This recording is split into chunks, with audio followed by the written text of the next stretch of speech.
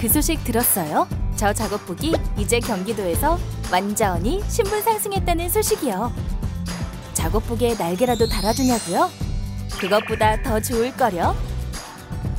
바로 제 전용 세탁소가 생겼다는 말씀.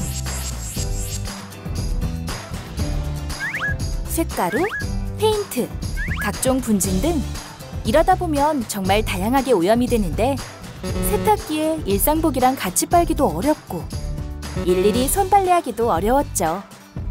하지만 이제 경기도 노동자 작업복 블루밍 세탁소에서 합리적인 가격으로 수거와 세탁, 배송까지 간편하게 가능합니다.